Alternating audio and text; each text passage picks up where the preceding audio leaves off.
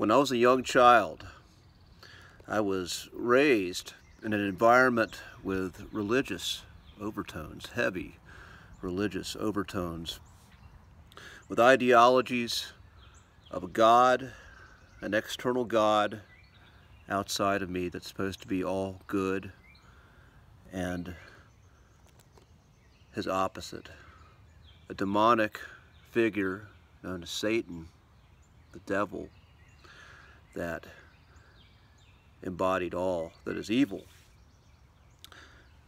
And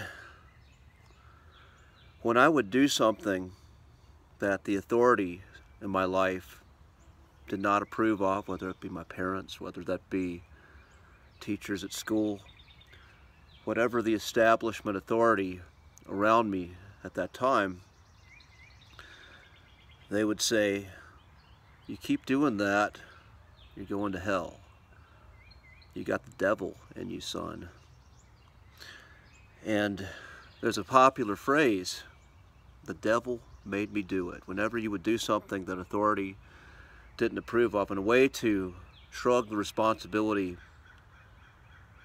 off of one's shoulders, you would blame this devil, the scapegoat, scapegoat for all the horrors, all the fear, all the darkness, all the hatred that's expressed through humanity, expressed through you. And this phrase, the devil made me do it. And I got really adept at using that phrase, the devil made me do it. Got very skilled at it. But if I'm being totally transparent, if I'm being honest, a lot of those things I've blamed on the devil, I enjoyed doing.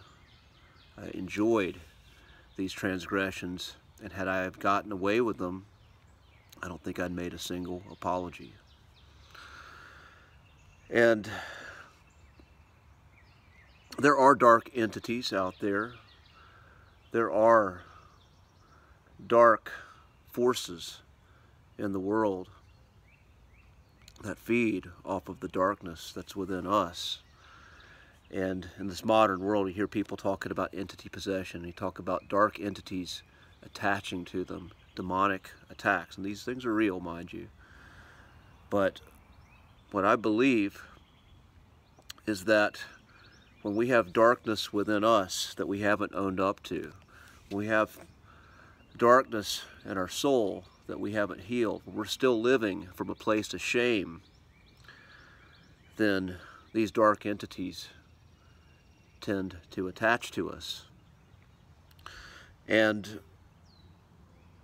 you know, many of the, the things that I did as a child, some of them you could say are just mischief. Some of them are relative. Some of them, some of the behaviors are shamed relative to the culture and relative to the frame, the authorities that I was raised in. And then others, others that I've truly felt sorrow for in my heart, uh, transgressions that I did that harmed another human or harmed another living being.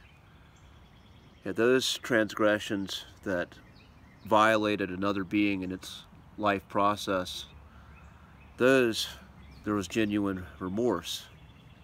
And that's the difference between a, a human soul that is capable of empathy and a psychopath. A psychopath or sociopath which has no empathy, which enjoys just watching the world burn, which enjoys watching suffering. And those psychopathic souls are prime conduits for dark energy because they get off on it genuinely. But most people, you know, most of us out there, it's when we have shame that we have not owned up to, when we're blaming somebody else or something else for something in us that we haven't healed, when we haven't forgiven ourselves for something that we've done that's caused suffering to someone else or something else. And then the flip side of that, the things that we're not sorry for, the things we said the devil made us do, but we're genuinely not sorry for. They're just things that are relative to the culture that we lived in. But when we shine light onto those elements of our shadows, we own up to what is ours. And when we own up to the bad things that we did and confess our enjoyment, our pleasure that we took in them, and we own up to the bad things that we did that we're ashamed of, and we genuinely ask for forgiveness, and we show that we mean it because we don't go and do those things again. We act with integrity with our words and with our beliefs, then we start to heal some of this shame, some of this guilt we may feel inside of us, some of the incongruence between our values, our words, and our actions. And when this happens, when we become more congruent, when we become more aware of what's really going on in us, and we start to own up to our choices and our behavior, and we own up to our values, and we're okay maybe pissing somebody off out there because we're violating their belief system, but we're not actually violating the person but other things we choose not to do because we see it as a violation of the life process.